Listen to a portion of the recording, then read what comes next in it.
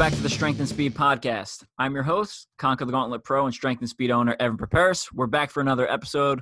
Got a guest with me on the line. Before we get to her, though, a quick word from this episode's sponsor. This episode is brought to you by Compex. Compex is the maker of those electrical muscle stimulators. You may have seen me or some of the CTG Pro team using them. Uh, essentially, it forcibly contracts your muscles. On a low setting, it's great for recovery. On a higher setting, it's good for actually building explosiveness or muscular endurance. There's a diff- bunch of different settings on the actual stimulator device there. And they make ones with wires and they also make a wireless one. If you have some extra money to spend, I would go with the wireless one.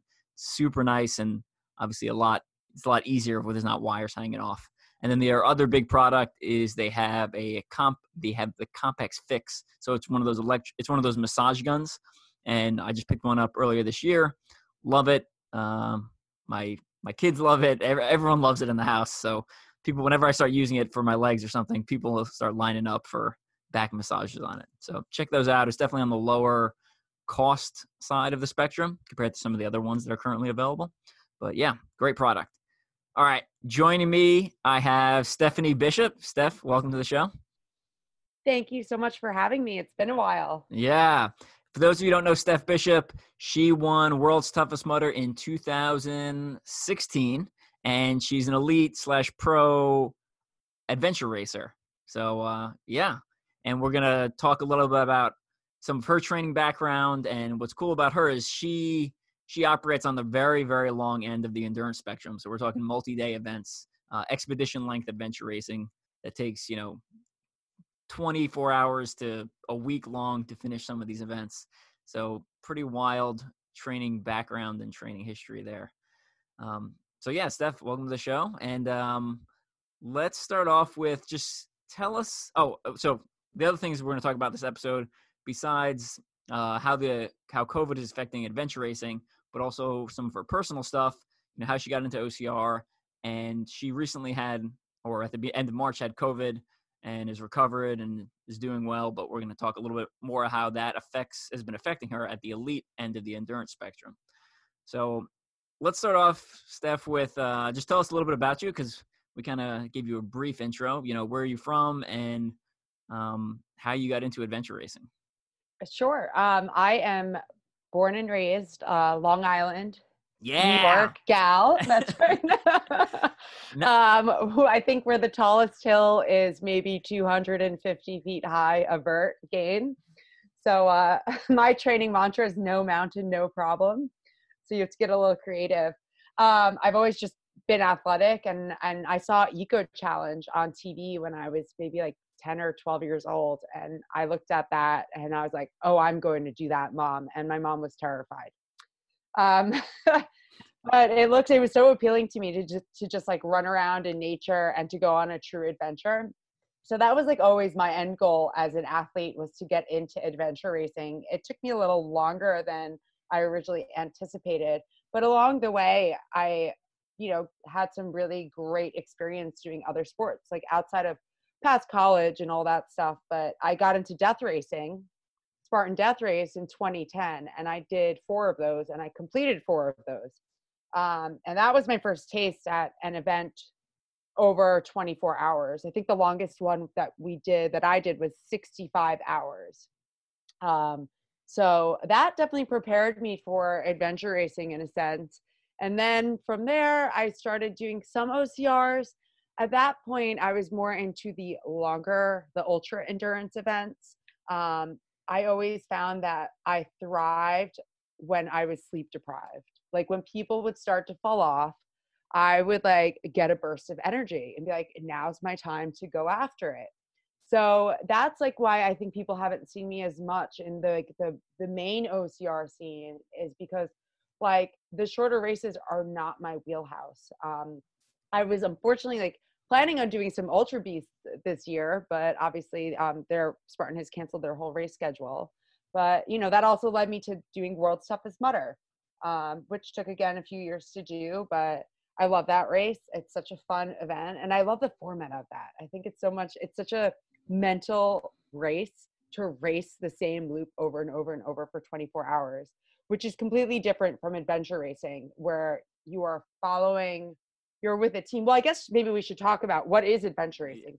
People that, hear what it is and they don't know what it is. Yeah, that was going to be my next question because the thing that always happens at work where I, um where I work and they're always like, "This is Evan. He's an adventure racer." I'm like, "I'm not an adventure racer. It's a different sport, guys. It's a completely different sport." And I think sometimes even within the industry we are not helpful in creating a delineation there because I know the you know one of the other international OCR federations that was trying to start like a championship, they took Primal Quest, one of the expedition length adventure races, and they were like, "This is the the ultra you know expedition length OCR championship." And it's like, well, that's it's a different thing. So explain yep. explain what adventure racing is and the different lengths and kind of what you do, etc. So adventure racing has been around for decades. It's been this kind of niche sport, um, you know, just because of what it is. So it's a team sport. Um, and the the premise is that your team needs to find these control points, these points on a map that either you have to plot yourself using coordinates or they're sometimes pre-plotted by the race director. And you don't have GPS. You have to use a map and a compass. That's your way of getting around, of finding those points. And there are usually four disciplines in, in most adventure races, sometimes three. But it's you're on foot, so it's either trekking or trail running or off trail running because sometimes you're not following a trail. A lot of the times you're off trail. Um, mountain biking. Um, the subset of mountain biking is my favorite discipline called hike a bike. It's not an official discipline, but um, it's pretty much like you're going through terrain where you can't bike through it, so you have to hike your bike. Um, usually there's a paddling. They, there are paddling sections. Um, I've paddled in canoes, and in pack rafts. Sometimes they're kayaks. Um, so all different types of watercrafts. And then some, usually there's some kind of like rappelling section or rope section, um, you know, something in that sense. Um, and that's it. So the, the fastest team to make it to the finish line with clearing the course, meaning getting every single point on the map, wins. So if one team finishes five hours before the second team that finishes, but the second team gets all the points and the first team doesn't, the second team actually wins the race. Um, and teams are usually consist anywhere from three to four people. And to be on like the, the competitive level, it's usually it's co-ed. So generally that means um, like a four person team, it's like three men and one woman. Um, they're definitely, it's, you know, women are more of a commodity in the sport. Um, so when you know teams find a good female racer they tend to you know stick with them for a long time. Gotcha. Now this will be especially relevant and i didn't even this was completely chance i should have actually th- put this together but uh, i believe eco challenge was restarted right and they're going to air it um starting mid-august is that correct? Yeah yeah it's, i think i don't know the exact date it's like the end of the first week or the second week of august and there are a lot of you'll see a lot of OCR competitors in there. Um, I know Ryan Ryan Atkins and Ray Coble were on the same team. Um, so I and I'm sure there were other OCR athletes in there. I mean, that's like the pinnacle of, of adventure racing, and because that had a huge budget behind it, you're going to see stuff in that race that you wouldn't see in a, in a normal adventure race, mainly because of cost. gotcha. Now, you know, we, we talked, obviously, we're, we're touching on the long and the expedition length. So, what's the shortest, basically, length of adventure racing all the way out to the longest? What's the spectrum? They, you know, like 12 ish hours. Usually in my world, I feel like, you know, 24 hours is like the bare minimum. Um, but they have like Rogaines, which is more like orienteering races. Generally, you're just on foot but there are smaller races. I think there's a 12 hour in New England. Um, but I've done races up to five days in length. That was the Adventure Racing World Championship. Um, and I tend to expedition length. To me, it starts around like the three day mark. Um, you know, 24, 48 hours. Those are like the longest time. So when you hear like, oh, somebody's doing a 72 hour race, the winning teams do not come in at 72 hours. They come in sometimes a day before that. So you know so that's usually like the max time um, that the last teams start coming in. Interesting. So i've done two adventure races. It was actually a, I did a 12 hour one and a 24 hour one. And it was me and two guys uh, this is way back in like 2004 or 5 and my my my two friends are like, let's do the 24 hour one, and I was like, you know what, we've never done this before. Let's do the 12, and um, they were real pre- peer peer peer pressuring me to do the 24, and I was like, I think we should do the 12 because we don't know what we're doing. And they could anybody could anybody or like was anybody an orienteer? Yeah, so we're, we're three military guys, so we're familiar with orienteering. Okay, um, good. and and f- familiar with being in way over ahead and doing things without the proper amount of training. So we felt okay going in. um, twelve. So we're like, all right. So we we set on the twelve hour one. So you know, it's funny you mentioned that about the finishing times because you know we're we do a bunch of land nav we do we rappel down a cliff we do a bunch of mountain biking side note none of us had ever been on a mountain bike before that was entertaining um we do uh, lake kayaking my lower back was killing me um i did no we did no paddling training we just just winged it again and we come across the lake at like right at the 12 hour mark and we run up with our score sheet and our orienteering card and we're like here it is. And the uh the guy behind the desk is like here's your next set of points. And i was like what? No no we're in the we're in the 12 hour. He's like right there's one more leg. And i was like mother so um we were ill we were ill prepared for night ops and made it a couple more hours and then out of our three headlamps we lost one the two of them were since we were running out of batteries and uh, one of them eventually died and then we were down to one headlamp and then we eventually just called it a called it a day. So that was but that's that's adventure racing though. Like how many times have a, bi- a bike has broken down and we're to the point where it can roll and that's it. So like i had a race uh nationals one year with my team. My bike broke completely. It rolled. So we took a tow like we leashed the bike to another bike in front of it and we were on single track in like the Georgia woods and my other teammate was towing the bike with my other teammate on it because I'm like I'm not riding that bike with like it doesn't function.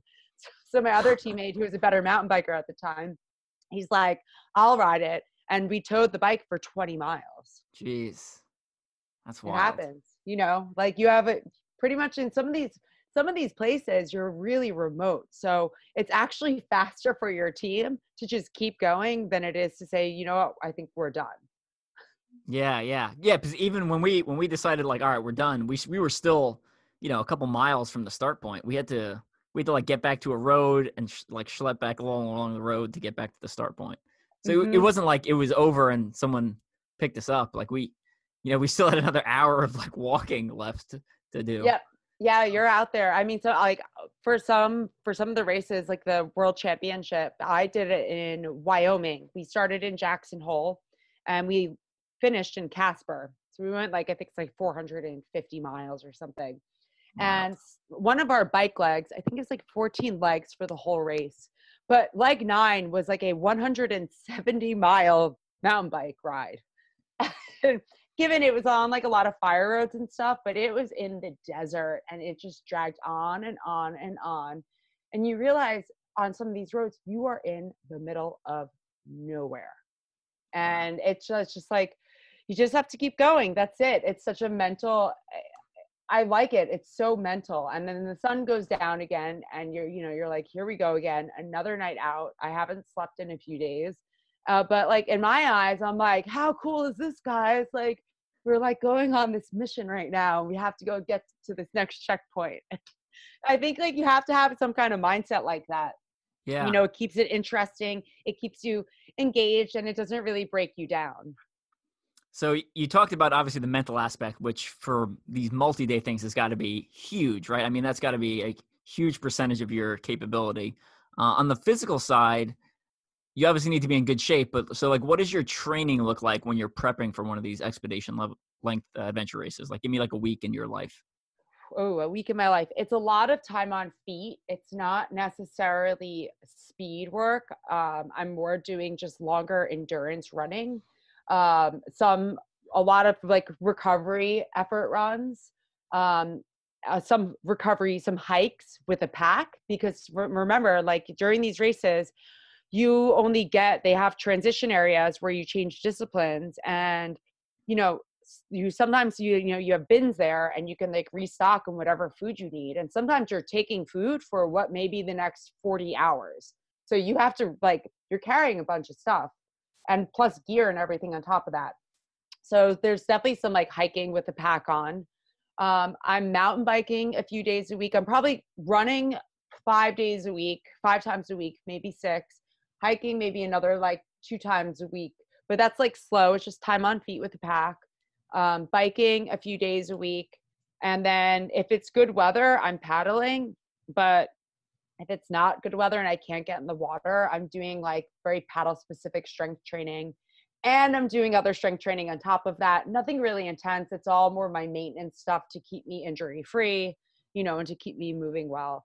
Um, going into a really long race, like I could be putting in easily like 20 hours a week between everything. But again, it's not like very high intensity. Um, if it's a shorter race, that time drops and some of those workouts definitely get a lot more intense um, because I consider like a 24 hour race to be like a sprint. Um, you're you're it's insane. Like I mean, uh, the race I did last year up in Canada, the Wilderness Traverse was we finished in 18 hours. It's a 30 hour race. My team won it. I felt like I was at my lactic like it was a lactic threshold workout for 18 hours straight. That's what it felt like. So it's so wild. yeah. It's just nonstop because you can't make an if you make an error in that short of a race, that could make or break if you're going to win that race or not. So I remember, so 2016 you won World's Toughest Mudder, and then 2017 was when they started doing the CBS televised uh, eight-hour races, Toughest yep. Mudder. And I remember talking to you at one of those races, and you're like, "Yeah, you know, I'm just really not good at this short stuff." And I was like, I was just like laughing because it just showed how how skewed your perspective was. because every other person on that start line is like, "This is the longest thing I've ever done." You know, like this is so long. You know, and you're like, yeah, this is, this is really short. You know, it's just it's just not long enough for me. And uh, I just thought you know I'm like a it's like a, a, a car engine in the winter. I like you know you need to like turn I need to like turn on the engine, let it like sit in the driveway for a little bit before it warms up, and and then I'm good to go, and I can go for a really long time. But I think also like it plays into like for like you know like asthma and things like that like i just feel more comfortable when my body's really warm and then i can start pushing um that's why you'll never see me run like a 5k is a nightmare. I joke that i have to run a 5k before I, I would even consider to race the 5k because my body needs that much time to warm up. I hear you so you mentioned you still live on Long Island or in New York? I'm currently, yeah, I'm currently in New York right now. Um, you know, obviously my calendar has been pretty much scrapped Wiped for the clean. whole year. Yeah. Wiped clean, but at the same time, um, there are so many mountains just like north of New York. And if you go, if I go five hours north, I've been waiting to get up to the Adirondacks, you know, just just been like hanging out more down here. But even like an hour north of New York City, there's Harriman State Park, and it's not like you know massive mountains, but you can get in some solid runs up there on some really technical terrain actually. That was actually was, was going to be my next question was how do you train for elevation if you have limited access? But I guess driving north is the answer. It is, but even like on Long Island, there's some there's some like roads and hills I'll run, and I just literally just crank out repeats. Like I go up down, and I'll do it for like two hours. Or there's a trail I run a lot on, and in about I'd say 15 miles. I can get, if I'm doing like the more gentle section, I can still get about 4,000 feet of, of gain. Um, if I really stick to this one mile section and just run it back and forth, um, I can get a lot more than that in, um, in a much shorter time. So, I mean, the difference is though, is that when you're running short and steep, and I'm talking these climbs maybe are like 50 feet or, you know, 60 feet and from, you know, bottom to top, that um you're not getting it's a different type like i have to not i have to think about pacing because it's up and down so it's relentless it's it's sneaky actually. It's not like a long climb where you kind of dial in and you're just like okay i'm going to be climbing for the next 20 minutes or the next 45 minutes or the next hour. It's more like i'm climbing for the next minute but i'm going to like not slack on this downhill and then I'm going to push through the next climb to kind of still simulate the longer climbs. Gotcha. Okay. Good and answer. then there's my favorite uphill lunges. Those are the best. If I'm like, I have a 6% grade hill right across the street for me, 6 to 8% grade. doing uphill lunges on it for like 45 minutes. It is just, it just destroys my legs. It's great. Nice. Now I'm going to ask you the series of questions that people always ask me when I'm like, I do 24 hour obstacle course racing, and they're like, "Well, you know, when do you sleep?" And it's like, "Well, I don't because I'm I'm trying to win." But Yep. you know, if you're doing if you're doing multi day stuff, you know, at what point, as someone who's trying to win, at what point do you start, you know, taking naps and kind of planning a sleep rest cycle versus just being like, "All right, we're just going to push through nonstop to the end." So a 30 hour race, you don't sleep, like you're going nonstop. Um, I would even say like a 72 hour race. Um, I my theory is is like you can push your body 36 hours um, before you really start to see a steep decline in your performance. But then like I'm also a firm believer in like a 30 minute power nap can go a long way.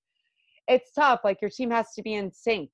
So you know, I've raced a race before years ago and my team wasn't in sync with the napping and it was really rough because some of us would be like tired and some of us wouldn't be tired and it really hurt our performance because we couldn't get the sleeping down.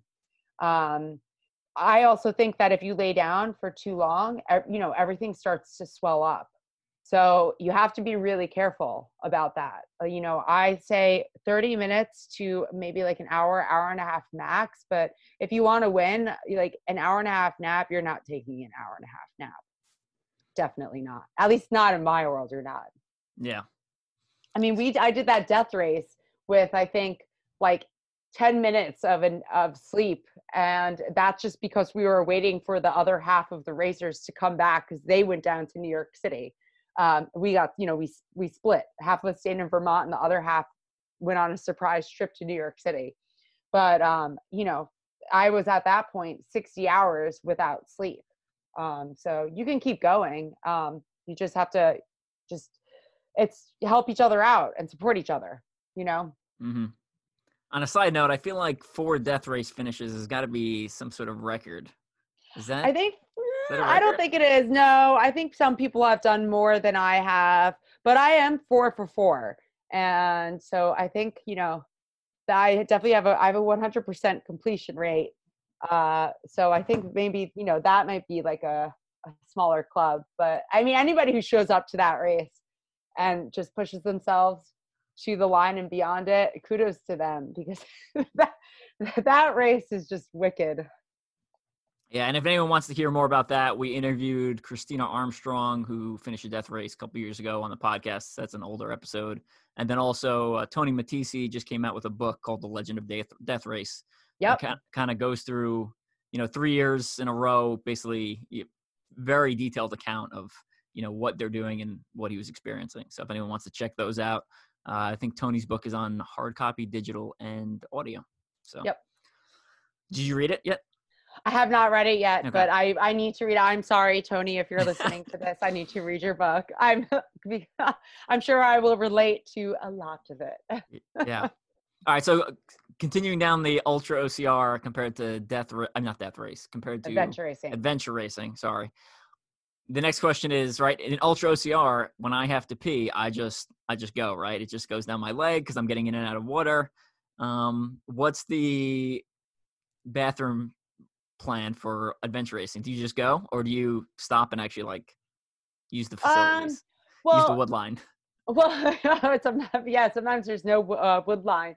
I think it it depends because sometimes you're stopping like for a hot second to check the map and to make sure, especially if you're like bushwhacking in the middle of the night. Um, you're you know every once in a while like you stop just to make sure you're going in the right direction. So people just kind of you just kind of almost like go in front of each other. Like there's really nobody cares. It's very relaxed. Yeah. Gotcha. But yeah. Yeah, it's not like triathlon, I feel like, where I used to do triathlon where like, you know, you're going on your bike. Yeah, I you just know, go on my bike and it just trickles down your leg. And I mean, people aren't supposed to be drafting in that sport anyway, so there's Yeah. you, know, you don't have to worry about hitting anyone. That's true. Yeah.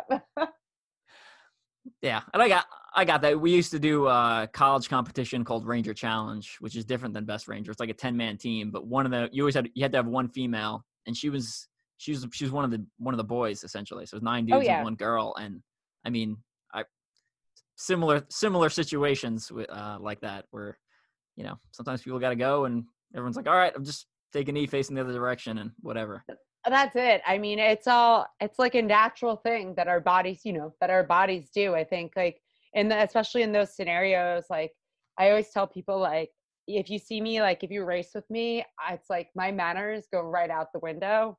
But, but when i'm in like a normal let's say like a more normal social situation they you know i bring my manners back into you know into my world. Yeah. All right, now let's continue with the comparison. So, what about food? So, for Ultra OCR, I just go liquid diet for 24 hours essentially, and it doesn't bother me. Uh, but for multi day, I think it might start being a little different. So, what's the fueling strategy you use? Mm, so for multi-day it's kind of i cover a bunch of different like flavor profiles shall i say so it's like sweet savory i like something tangy and like sour um, sometimes something like mildly spicy because sometimes you just get bored with what you're eating so you know you don't just want liquid calories obviously you're going to want solid food um, for the expedition races sometimes i leave a dehydrated meal in my pack because sometimes at the transition areas they have hot water. They'll let you know beforehand. So you just dump your water in your in your like dehydrated meal, throw the meal in your backpack, and then you know you're off and riding or running or trekking, and then you just eat it along the way. Um, unless you're going to take a few extra minutes in transition. Um, those are great. But I've had teammates take ramen noodles and um, just put regular water in it, not even like warm water, and over like an hour or two, like it just softens up and it's edible um and i always put in something into like my bins something that's going to cheer me up like something i'm looking forward to. Um you know for me it's like i well it's, red bull for me but uh there are other things too like maybe it's like something it's like dried mango or something. I you know it has to be something that's different than i normally have um and that can just bring you out of a slump.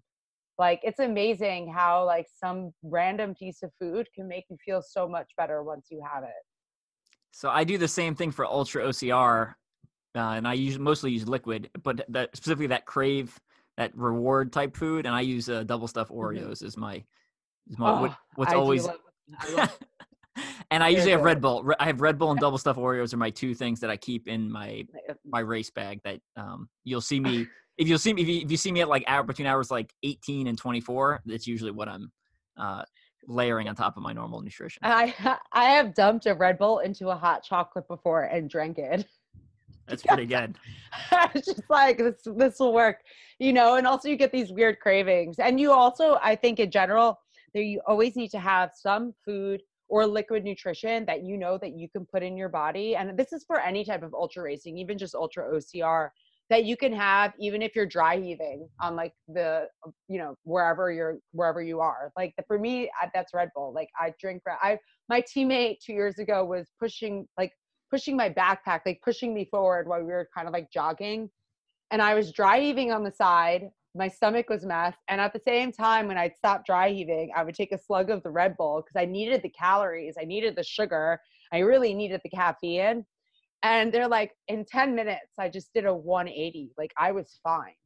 So there's always something you have to have and maybe it's oreos i don't know maybe it's like i don't know what else it could be like maybe it's like rice with soy sauce like you know maybe it's a, a sweet potato or maybe it's just some like weird junk food that you just really enjoy but always have something that you can eat in the like the worst case scenario I think that's absolutely great advice, and I recommend the same thing in my book, Ultra OCR Bible, Mud Run Guides uh, book. So, completely agree. Now, there's two things I, I did. Like I said, I did two adventure races. Really enjoyed them. They're really cool experiences, really different. And but there's two things that kind of prevented me from going, you know, diving headfirst into the sport, uh, which is typically what I do when I find something I like. So I'm going to ask you kind of how you've been dealing with those two challenges. So the first Okay. one is finding and maintaining a team, right? So I had two friends that would do it, but you know, some of them are wishy-washy, you know, they and it's hard to find people who are as obsessive as myself about something. Um, when I find something that really interests me. So how have you been dealing with one finding and or maintaining a team? So uh, when I first got into the sport, um, I just met a, a random group of people actually through social media, and so they were they wanted to go out there and do the best they could. You know, it wasn't about winning for them. A great, really great group of guys. Um, and so I was like, you know what? Like this sounds like a really good entry point for me because I'm going to get a lot of experience and I'm really going to like understand what adventure racing is about and then if I really like it, I know I can push myself to find a more competitive team. Um, and then two years ago, three, I guess it's three years ago, um, I was introduced to a team uh, to race that that race in Canada, the Wilderness Traverse, um, through uh, I believe it was Peter uh, Dobos. He's a like he's a big in the OCR world. Um, uh, he posts a lot of stuff like interesting like scientific articles um, about yeah, like you know we bounce ideas off each other sometimes yeah he's got some good ideas okay there we go yep so he i believe it was him thank you peter that introduced me to some of the, these these adventure racers they've been in the scene for a very long time and i raced with them for that 30 hour race and that was like my first real taste of racing hard and racing fast and i was like oh this is amazing. I love this. Like this is torture but it's so much fun at the same time. Um, and then the following year i raced with people in the same circle but a different team. Actually one of the athletes from the team from the previous year and two two new guys but everybody knows everybody. So in adventure racing once you start to get to know people um they'll be like oh we need a fourth person for our team. I think there's only like a handful of teams that are that race together all the time. Um it seems like in some of the races it, like at least from what I understand, you know, they're missing somebody, somebody can't race for whatever reason. So, you know, they go out into the circle of people that they know and they find, you know, a, a substitute for that race. Um, so, I mean, this year it's been tough because there are no races. So, I mean, I would love to, like next year, I would love to do a bunch of adventure races. I really miss it. Um, it's been a year since my last adventure race. So, I'm putting it out there. If anybody knows a very highly competitive team, just get in contact with me. Yeah, I feel like once you're in the inner circle, I would imagine there's again there's just not that many people in that inner circle with that mix of skill sets and fitness level and in mental capacity. So once I feel like you're in, once you've broken into that circle, I feel like it would just be it'd be too easy to be like, oh well, this person can't race, and we'll switch that person out. And yeah, uh, and it's happened. It's true. Like if people have asked me to do some of some of the bigger races, and unfortunately, it was like timing for some that I couldn't do, things like that. But um, you know, that's the name of the game. I mean, these some of these races, like GODZone in New Zealand, which is one of the most epic adventure races. Um, I would have to be over there for like two weeks, you know, and if it doesn't fit into the schedule, it doesn't fit into the schedule. So uh, so, uh, you know, if people are looking to do adventure racing, start with like the shorter races, you know, get a taste of it, um, you know, before you dive into the longer stuff. Uh, but don't shy away from the longer stuff either because it is, it tests your body in ways you never thought it would test it. And that's to, I'm, I'm to ask this question and then we'll jump back to my earlier question. So you mentioned testing your bodies in ways that pretty much are impossible to do anywhere else. Now, what does a recovery look like for a you know an expedition like the Venture Race? Like, how much time are you taking off after something that long? So usually when I finish a race, uh, you have to go straight into like sometimes like cleaning up, like unpacking, repacking your bike and all your stuff. So usually the recovery doesn't start right away. But um, for the most part, it's like shower, sleep, eat, sleep, eat, sleep, eat. it's kind of like my recovery for death race. I just eat whenever I'm hungry all the time for a few days. But I start moving. I make sure, like, unless something's wrong with my body, that I'm moving around daily. Like, I'm not running per se, I'm walking. Maybe a few days later, I hop on the bike if I'm not like sick and tired of riding my bike. Um, you know, I do more like lower impact stuff um, and then usually like a week later i like kind of test my body a little bit more but i'm not doing any like real hard training for probably like a few weeks i would say um, i'll get out there and i'll do stuff but the intensity it depends you know you don't want to you just like you know probably race for three plus days on little to no sleep like your body really needs some time to recover. Got it. All right. And so we'll jump back to my earlier question. So i mentioned there's two big things that kind of got prevented me from going headfirst into adventure racing. The second one is cost right? So the yeah. you know you you, do these multi essentially it's a multi-sport orienteering. So you need a mountain bike a lot of times you need a kayak or a canoe or something like that. So what I, I, guess let's go with you know how have you been dealing with that in, enormous cost uh, for equipment? And then also like i remember looking up once the entry for primal quest and it was so absurdly high. Like i was like all right i guess i guess we're not you know i guess this is not going to be a long-term goal because i think it was like $10000 to entry or something something insane. oh well that's that's like a very that's a that's the high end. So um if you're looking at like this let's say like the smaller races like smaller like not the bigger uh names they're definitely like under i would say a thousand dollars. I remember the uh, adventure racing world championship the entry fee was fifteen hundred dollars but in my head i was like oh that's a huge entry fee but i'm like wait a minute let me break it down per day I'm like, so I'm technically going on a self propelled vacation in an area and places I'll never ever see, like uh, probably in my lifetime, and very maybe places that not many people have seen in their life in general, the human population. So I'm like, okay, it's not bad. Like if I'm racing for five days, it's $300 a day. That's not so bad. Usually, most races provide um, watercraft, like they provide a, a kayak or canoes. Um, for the races when there are pack rafts, um, you usually there's like a rental company that your team can rent a pack raft, so it's not that expensive. Um, I do suggest like you usually need your own paddle, so that's an investment, but um, you know you can get a good paddle for couple hundred bucks, like a good paddle, a really good paddle that you like. Um, and that paddles well because that makes a difference, as I found out very quickly. Um, and the bike, if you like biking, it's an investment piece and you'll have it for a long time. You don't need, like, yeah, it's so nice to have super fancy full suspension, carbon fiber, but like I have an aluminum frame Trek hardtail.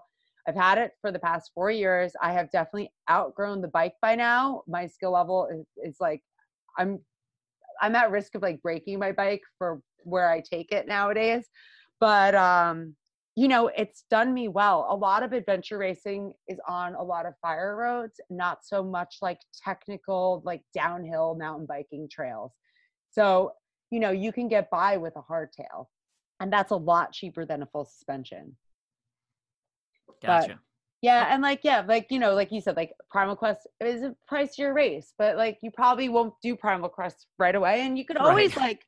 That's I true. think like you know people can always go to like maybe there's like a local store and um, they can figure out a way to do some kind of social media for the store, and the store can like sponsor part of the race entry for the team. Like you know they're just get creative. There are ways to to offset your costs, and it's a vacation. It's a very physical vacation, but it's kind of like a vacation. That's a great answer. You know, and I think the Primal Quest, when I said that 10,000 figure, I think that was for the entire team. So essentially 2,500 yeah. per team, per person. That, and it's, yeah, that sounds more like it. Yeah. Yeah. And it, and it, you know, it's essentially seven days. And like you said, when you start breaking it down by cost per day, it's really not, it's not that much. I know it seems like a lot of money up front, but like, you know, a normal vacation, you're going to spend a hundred dollars at least on a hotel every night. And then you add in the cost of a rental car and the cost of meals and stuff like that. And all of a sudden, you know, it doesn't seem like that. You're money. getting there. I mean, who yeah. why sleep in a five star hotel when you can sleep in a ditch on the side of a road? yeah, this is perfect. I, I, can definitely sell my wife on why we should invest all this money into adventure racing. But, but, then you get into like the places you get to go. Um, you know, like uh, it's really you don't know where you're going to go until you're actually doing it. And sometimes, like if the race, like Primal Quest, has some epic like ropes courses and things like that to do that even on like a normal trip you might spend 250 bucks just to have like a guide. So you know that's how i think about it. Like the the adventure is very like it's very high on a scale of adventure and then if you break it down per day it's really not that bad yeah and when me and my friends did that 12 hour one we rented bikes from a bike shop and like you said they had uh, kayaks that they provided for us, and we just you know paid a fee. And they're like, if you Yep. bring your own kayak, you don't have to pay the fee. And I was like, okay, cool. Yep. And then I think I think you're right. I think we did buy our own paddles, if I remember correctly. Um, I'm not 100 percent positive on that, but I mean, Yeah. if you want to like entry, like I always suggest to people, and when I first started, I borrowed a bike from somebody and I borrowed a paddle just to like, you know, get used to it and see if it was something I really wanted to do. And I was like, wait, okay, I love this. I need a bike. And even then, like I said, I didn't buy like a fancy bike. Like now I want a fancy bike, but it's a few years later. But, you know, and then I eventually invested in a good paddle because I wanted to be at a, I wanted to race at a very competitive level. So, you know but if you just want to get out there and have fun like it's you can you can get by with uh you don't need the highest end equipment to to enjoy a, an an adventure race and to do well in it Yeah. Now, you know, triathlon has trifind.com. I, guess I, just- I still, I think they still do um, for finding races. OCR has Mud Run Guide. Is there an adventure racing like single resource where you can find all adventure races across the U.S.? Ooh, um, I would have to say the USARA, probably the U.S. Adventure Racing Association. Okay. Uh, that would be my guess because that's those are all the sanctioned races in the U.S. If you want to go international, look at the Adventure Racing World Series. Um, those are like those races are in some of the most beautiful places on the planet. Um, they're really well run. Um, those are more, ex- you know, they're expensive. Um, you know, bigger entry fees, but they're also longer races. Um, but yeah, they're, the USARA is a great resource. Um, they have races, and I believe on the website also they may even say like the different adventure racing clubs. Um, so you know, go find like an ori, go find your local orienteering club, and go to and like sometimes they post a map, and you can go to your local park or wherever it is, your local wilderness area, and with the printed map and a compass and practice orienteering.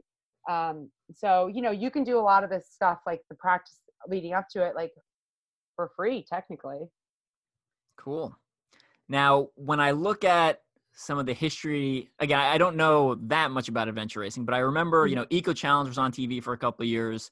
I remember Primal Quest was another big expedition uh, length one that was popular for a couple of years.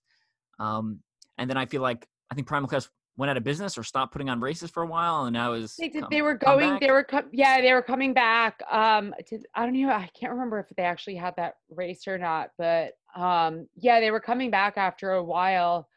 Um, I think it was in 20, 2000, was it last year? Maybe it was last year. Um, but now I feel like there's like I feel like for a while, like adventure racing, like back when Eco Challenge first came out, like I guess it was like the mid '90s or something around then. Like adventure racing was on the up, and then it like took a dip from like a like a uh what do you call it like you know from people knowing it like you know Yeah. it wasn't as known and kind of like faded into the background and now with eco challenge back and it being on amazon prime like that's great for the sport i'm really excited that you know mark burnett was like we're doing eco challenge again because it's really good for the sport um, you know the more people that do it the more money that can go into the sport from like sponsors and things like that so it just gives more opportunity to people that want to do adventure racing um, another big race is GODZone, and that's in um, New Zealand. I mentioned it before. And that's like a bucket list race. Um, that is just, it happens in March. And it is just one of those expedition length races. I think it's like a week long or something estimate. And um, it's New Zealand. So can't go wrong with that race. Gotcha. Yeah, I think we, you know, comparing it to OCR, it kind of reminds me of it where, you know, OCR a couple years ago, we had we were on several TV networks, right? You mean Battle Frog on ESPN, Yep. NBC Sports had the Spartan series, CBS had Tou- Toughest Mudder, and now none of those are still going on. So, you know, even before COVID, right? Like none of that stuff was scheduled for this year before COVID. Yeah. So I think, you know, every industry is going to see some sort of ups and downs. And, um, you know, I, do think, look, yeah. Oh, sorry. Go for it. Go for it. Yeah. I was just going to quickly say, like, I think that with the surge and people being interested in outdoor activities this year, I'm hoping that that, you know, helps sports develop more. um, outdoor sports, adventure sports, whether it is OCR, adventure racing, like mountain biking's gotten really huge where I live. You can't get a bike. If you want a new bike, you can't get one for a very long time because they're sold out. So maybe it will be time for networks to invest more in these adventure sports, um, which would be great. Yeah. Now, you know, we mentioned some of the COVID stuff at the beginning. You said all adventure racing is canceled, but is that because of the uh, state travel policies like quarantine? Because it seems like you could still hold adventure races because you could essentially socially distance from everybody. Yeah, um, you're pretty, It's a pretty socially yeah. distanced sport, minus your team members, unless it's like a shorter race, in which case you might be close with other teams. I'm I'm guessing you know it has to do a lot of with logistics, um, also with resources. You know, if they need they need medical staff, if they have to evacuate somebody, you know, like things like that. That's taking, in my opinion, you know, that's just taking away resources. Mm. Um, so I'm guessing, you know, the whoever was organizing these races all these different races were like it's not feasible from a financial perspective and just from a logistics perspective and and a racer's safety perspective yeah. to be putting on these races. I also think people are currently less willing to travel uh, yeah. in general right? So it's a little bit harder. Now we mentioned at the beginning of the podcast that you you had covid. So one take us through that experience and then also i kind of want to know the you know the pe- people are getting sick and then recovering, but you know, as from an ath, I'm, I'm approaching this from an athlete's perspective uh, because I think there's plenty of other resources on what uh, the average person kind of goes through. But you know, they're you know like they're worried about long term effects. Like, do you feel like it has affected your long term performance? Right? Because like someone who's just an, a sedentary individual is not going to notice a five percent decrease in performance, but someone who's an elite athlete would notice a 5% decrease in performance if it had some sort of long lasting effect. So just kind yeah. of take me through that from an elite athlete's perspective. Um, yeah, so I had COVID the end of March. Um, I had very like like the stereotypical symptoms. I had fever at first, a fever, high fever for a few days. Um, and then the fever went away, and then I got this like I got it wasn't as much of a cough as much of like I could it sounded like pneumonia was developing in my lungs. Every time I exhaled, I would just hear like deep gurgling in my lungs. And I have asthma. I've had it for over, I was diagnosed like over 25 years ago uh, or about 25 years ago. And I have, I get like chronic bronchitis. I usually get bronchitis once to twice a year. So this was very different than any other time I had bronchitis. And at that point, I was like, this is I kind of had a hunch it was COVID, but it was also still flu season. Um, but once that like the wheezing and the gurgling in my lungs started, I was like, this has to be COVID. Um, and a few days after that started to happen, I woke up one morning and I was coughing up blood. And I was like, okay, well, this is not good. Um, you know, I don't want to do damage to my lungs uh, if there's not already severe damage to them at this point um, I was able to get tested. Um, I actually went wanted a, an X-ray of my lungs, and they're like, "No, we're just going to test you for the virus." I'm like, "Okay," um, and I recovered.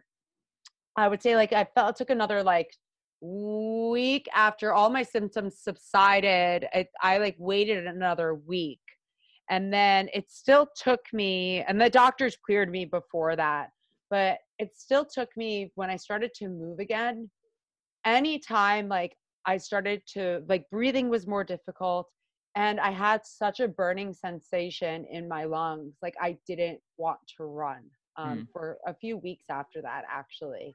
Um, I would say like it was a little of like five weeks start to finish from when I had it to when I started to feel like somewhat normal again. Wow. Um, I was pretty tired for a while. And then I just was like, okay, let me just take it slow and steady. So I was like, okay, we have to do really hard, like serious base training. Like, don't push yourself. My body's recovering. I don't know if there are long term uh, like consequences of this of this virus. Let me be careful. So I was careful, and I felt like by the time it was like May, I was like getting into a groove again with training. Um, and then I crashed my bike on the road, and I was just I had a really bad road bike crash and I was just like, oh great, like this is the last, this is what I needed now. But so that set me back another two weeks. But I've been training now, and now my body feels pretty good. Um, I don't know if I have lasting effects because it's so humid in New York right now and so hot. Like I'm talking like, yeah, it's like 90 degrees. It's like feels like 100 or it's in the 80s. But even when it's in the 70s, the humidity is sometimes at 80 to 90% humidity. So as an asthmatic, I can't breathe in that as is. So it's been a little difficult for me to determine like if I have long term, you know, a, any long term damage done to my body. Um, but I figure if if I'm having difficulties when the weather gets more like favorable, then I'll go see my pulmonologist and have like you know have more extensive work, extensive tests done on you know just to make sure I'm okay. Gotcha. Okay, that was a good answer, and But you know I think I didn't I think also it would be hard to tell. It, I think you'd be able to further tell if races were going on, you would actually be able to compete at your normal level, and then you could kind of compare it to some previous performances. But Yeah, and I've been like, you know, I've been like this morning I did like a, a threshold run uh, and it felt good. Like my body was moving well. And it was interesting because I wasn't breathing heavy until I like was actually past what I thought my normal threshold, like what my threshold was. But I was, my heart rate was up. And that's what I noticed actually with COVID, actually, when I first got it. Like my heart rate was up, but I wasn't breathing heavy. So like I'm trying to figure out like is this the heat? Is this just my body's adapting to training? Like what's going on? So like you said like I think I'll just have to go out and do some tests on some some things where I have a baseline like my local trail where I know like if I do x miles in x time in like a in a good like effort at like a you know moderate effort then I know where I'm at. Gotcha. Okay. Sounds good. And I think something uh, people may not, re- I'm switching topics here, but I think some, some pe- something people may not realize is you were at World's Toughest Mudder 2019. I was. Yeah, I was there also Tell people- 2017 but I broke my hip.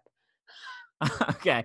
So tell, tell people where you, where you were at World Toughest Mudder 2019, because I think everyone saw you and had no idea they were looking at you for those that don't necessarily follow the sport super closely.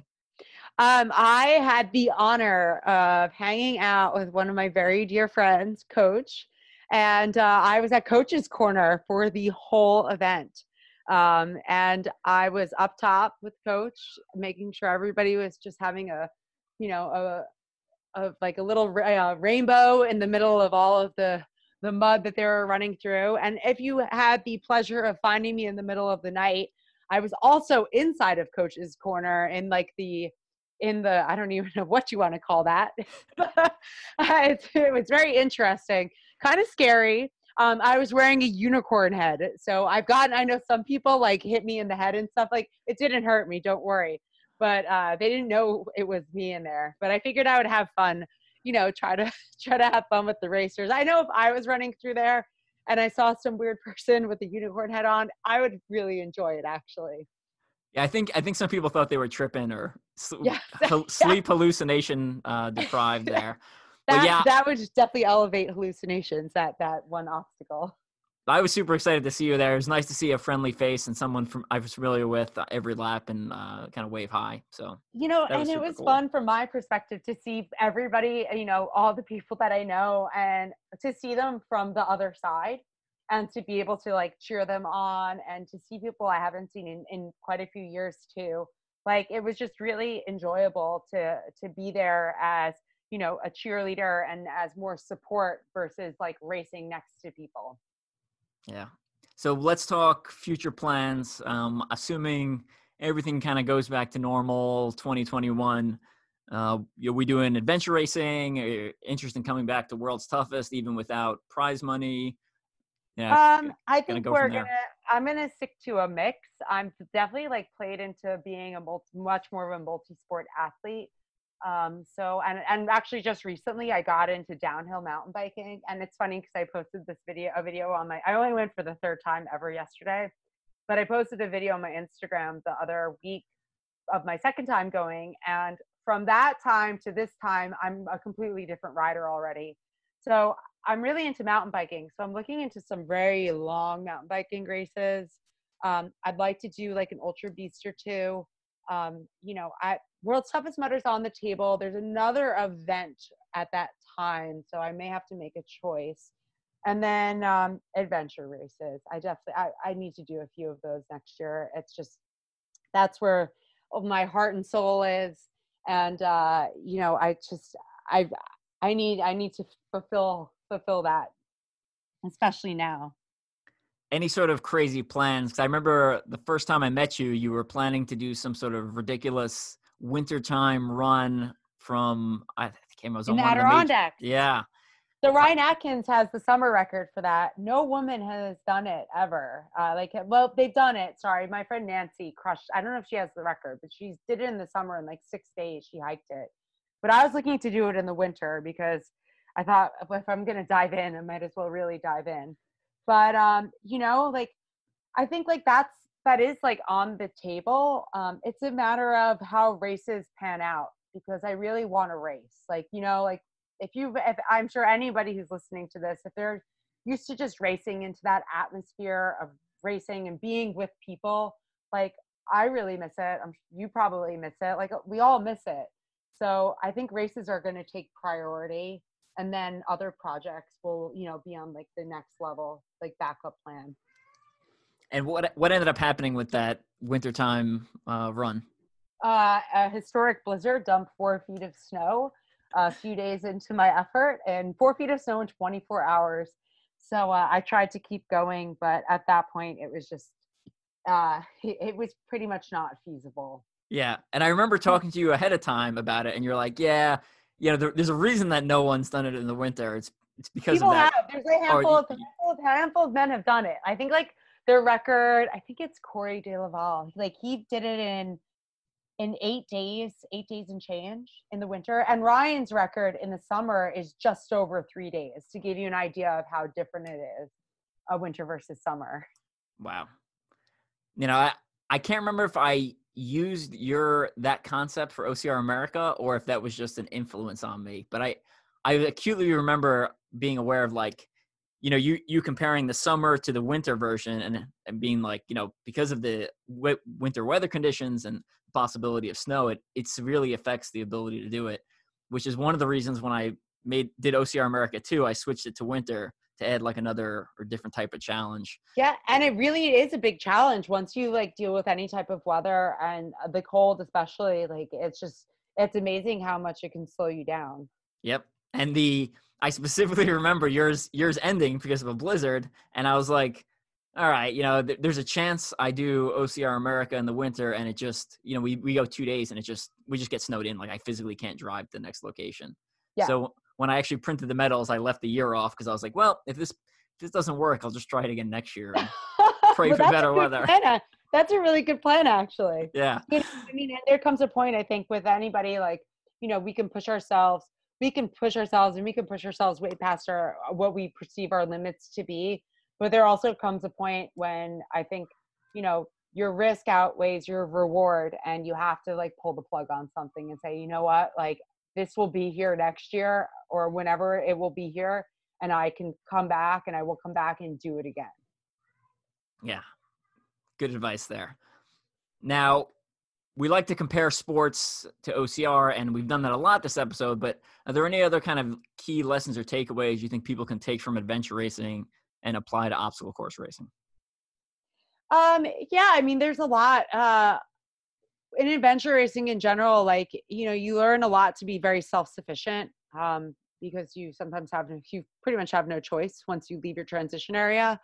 Um, and I think like in general that prepares you for the unknown, and it also gives you like a certain perspective where it broadens what you think your actual reach is you know like i can always and i say this about any of these these ultra ultra length races I've done is that I've learned so much and I've learned like okay if I can do that if I'm able to do that like in that condition I can definitely do another 5 mile loop at world's toughest mudder you know like you learn to push and you learn like you learn like just strategy. You learn how to pace yourself um for like ultra length stuff even like in like an ultra beast. Like you know how you learn a lot about your body and that helps when you know when you think you've hit your limit, but you know, but you actually realize you have many hours left before you really hit your limit, um, that helps. That may like make your laps at like an ultra beast a few minutes faster, um, if not like significantly faster.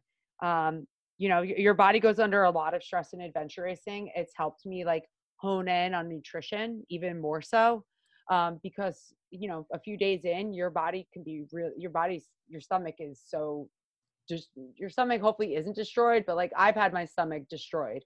Um, so i've like learned to even hone my nutrition hone in on like better nutrition.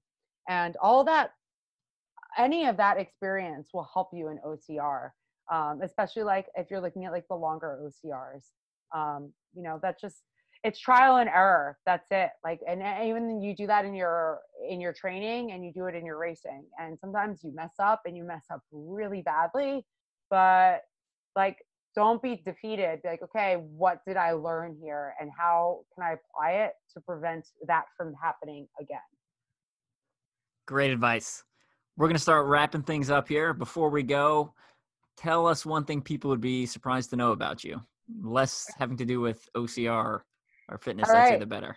So let's see. Yours. So as it has nothing to do with OCR. So when I I uh, grew up uh, playing classical flute, and my after my senior year of high school, before I went to college, I toured Europe with a concert band and a choir, and we played all over Europe at like um, festivals, and we played in the gardens where The Sound of Music was filmed, and we played at the cemetery at Normandy so um, yeah, I was in a touring concert band as a flautist. That's really interesting. I yeah, completely shocked. I played saxophone in high school and Oh, I'm jealous. School. I wanted to play saxophone so badly. How I ended up with flute was that was my second choice. oh.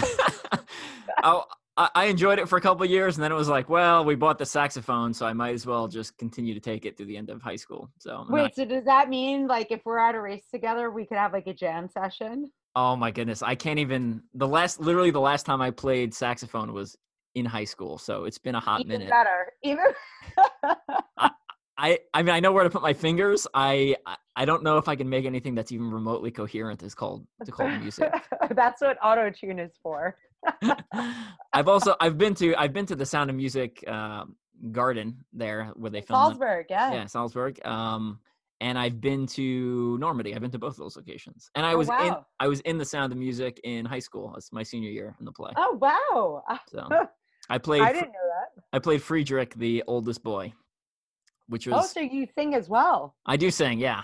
Um, and I, the if you look at the if you've seen the movie, the the younger boy hit there's like a really high note. And it's like a high G or something. The younger boy sings it. In the play, the older boy is supposed to sing it like falsetto voice. So that's what I sang uh, as a senior in high school. And uh, all right, so we definitely have a band in the works. I think anybody who's listening, please um, apply with your talent um, we'll be forming this band for next year's uh, season. Amazing. All right, before actual last question, before we go, any final shout outs you want to give friends, family, sponsors, etc. Um, I just, I guess, well, I mean, I just everybody, the whole community in general, everybody's great. I love just seeing what people are up to, the challenges that they've you know put themselves up to during this time. It's really inspiring to see people just doing what they're doing and doing what they love to do even during these times. And then just want to i'll give a shout out to um, three three companies who i do stuff with. Um, that's the feel good lab. They're a all natural sport recovery cream. Um, really great guys behind them. I have some things coming up with them in the near future. And then um, Arc'teryx and Salomon and um, they've both been really great companies to me. So uh, and uh, support my crazy stuff. So just really happy to uh, be uh, like working with all those companies. Cool. And I lied. I just thought of another question. Yeah. You know, Ryan Atkins and Jonathan Albon, both of them are like essentially untouchable in OCR, depending on the distance and the race. Is there an adventure racing equivalent? Like, is there a team or a guy or girl who's like, you know, legend in this in the sport already? Ooh, I don't know. I mean, you know, I'm gonna say like I don't have an exact name of somebody. I know a bunch of I know some people who have been doing it for a long time who are just wicked adventure racers. I mean people that I've never seen somebody navigate so quickly through such treacherous terrain. Um, but I will say though, like watch Eco Challenge. There's I there's some interesting like things that have happened there, and you will see some racers come out of the woodwork that haven't raced in a while. Um, like that was I'm I'm a little bummed out. I have some FOMO that I did not go to that race. But um but I would watch it because you will see some of the, some of the people from the past. Awesome. Yeah, definitely this podcast will be dropping just before I think the first episode airs. So uh good timing by me. Not yeah, great I didn't I didn't necessarily realize it. Like this this would have been a, a, really thoughtful plan that I put into uh, put into work ahead of time that was you know again well thought out but that's that's not the case just a little bit of luck i've been actually i think i've been trying i've i think i've asked you to come on the podcast before and we never actually made our schedules work but so yeah uh, good to have you on thanks again for coming and uh, anyone that wants to pick up some books or blegmits you can go to teamstrengthspeed.com all that's available there digital I'm gonna books plug myself Oh, go if anybody, it. if you want to get in contact with me, um, you can also follow me on Instagram. I'm Stef Adventures. Um, you can either contact me via there, or I have a very outdated website that I need to update, and that's just stefaniebishop.com. Nice. So people can check that out. Again, teamstrengthspeed.com for my books, uh, my biography, Ultra OCR Man, Special Forces Soldier to Record Setting Obstacle Course Racer can be found there. And then all my books are available on digital on Amazon. But if you're going to get them off Amazon, go to my website first. You can click through, and I get like referral credits essentially, referral. Uh, so click through awesome. my website first before you go over there. And uh, yeah, and my biography is also available on Audible for those of you who like listening to uh, nonfiction stuff while you run, which is what I do. So it's cool. perfect for your adventure race training. Yes, absolutely. Keep, keep your mind busy and engaged doing something. All right, Stef, great talking to you. And um, yeah, stay safe. And hopefully, we'll see you again in 2021 once racing and normal season stuff resumes. That would be wonderful. I am looking forward to it. All right. Catch you later.